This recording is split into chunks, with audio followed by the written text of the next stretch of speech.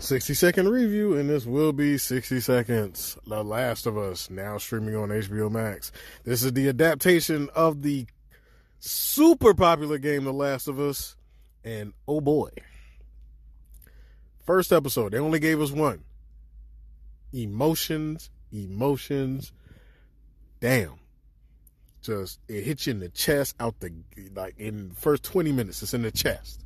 And and then just visually and and and just it looked like they just said let's give you an actual adaptation based off the source material. Here you go. We know what you want. We're not taking creative license with shit. Here you go. And that's what they did. You know uh, a virus of some kind with, uh, pertaining to fungus infects humans, and the world goes to shit. And you definitely want to see it. Great acting, great everything.